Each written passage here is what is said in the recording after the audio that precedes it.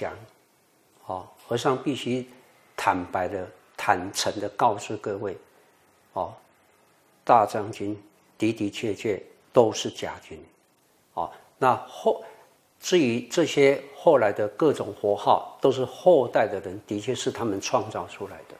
因为巴利藏是原始佛教的经典，也就是扎扎实实才是佛说的法义啊。那在这原始的巴利藏的经藏里面，五部经典并没有提到任何佛号，也没有啊，我也没有开示这么多的啊，大家所诵的这些啊，什么阿弥陀经、药师经、地藏经都没有啊，这都是后代的人创造出来的哦，这是真真实的现象，我必须要坦白告知各位。呃，这是从理上而言呢，哦，有就是有，没有没就是没有，真的就是真的，假的就是真的，真的假不了，假的真不了，哦，因为巴利藏是世界佛教界什么功能才是真实佛说的教典，那后来延伸到各国去啊，有日本自己创造出来的大藏经，因为大藏经是日本人创造出来的。日本人在大正十三年，他约一百年前，集合了三百多位的日本的出家人所编撰出来的大藏经嘛，所以里面很多都是假经，不是里面全部是假经呐。好，那到了密，到了西藏，西藏自己创造出来的密布的经教，那也不是佛说的啊，那都很清楚啊，那是密藏自己创造出来的，所以这样集结出来就称为大藏经。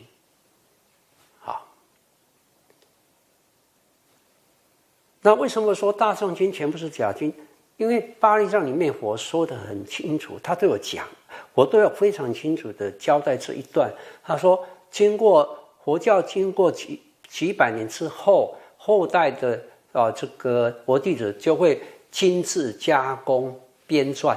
而让我的法义走掉了，失去我佛法的真实意。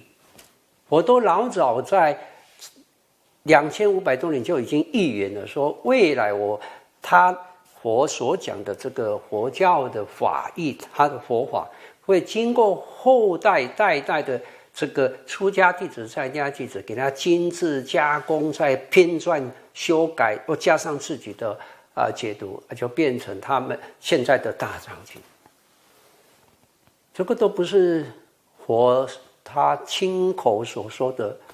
这些经文教育不是吗？我所说的经文教只有五部而已啊，就记载在巴利上里面，你们上网都可以查得到，啊也不用和尚来在电视前面来为你们来讲解这些巴利上的经文，而且都很白话文，你们一看都能了解，你们自己上网查就知道了。那么，为什么说大众经全部是假经？因为佛说，只要他的经文有经过哦精致加工，何为精致加工？文的我们的文言文叫做精致加工。哦，文言文，你看我们的经本，哦，同样一本经文有版本十几、十几、十几个版本，这在任何宗教是没有发生这样的情况啊。我我经常讲说，四书五经。论理到现在没有被修改过一个字，己所不欲，勿施于人，有没有改过一个字？到现在还是流传这句话。这个都孔子说啊：“三十而立，四十不惑，啊，对吧？五十而顺，六十知天命，七十行不义举，一字不差。”圣经传了两两一两千年到现在，圣经没有被改过一次，也没有两个版本。我们佛经同一部经典，《心经》也好，《金刚经》啊，任何经典有十几个版本，那就可以，我们可以理解，这都是人创造出来的啊。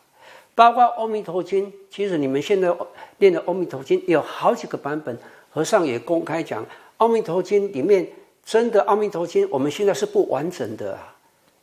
哦，你再看《大藏经》的记载，《阿弥陀经》里面是要往生咒的啊。那也是都人写出、创造出来的啊，难道不是吗？假如是真的是佛说的，不可两个版本啊！你看巴利藏没有两个版本，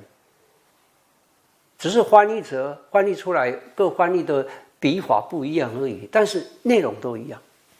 但是大藏经就是人编造，所以心经你看有十几个版本，哦，那心经大家都以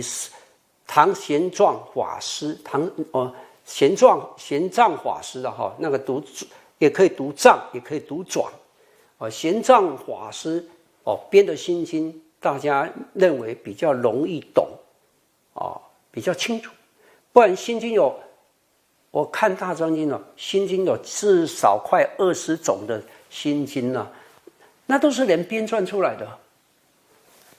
有的心经特别长，有的心经比较短，啊，到底是都是不是经的呀？所以从这里种种的经典都是后代人所创造出来的佛经，太多讲不完了。所以我我们用一句话概括，就是佛说只要。他讲的教义经过精致加工编造，都是假经。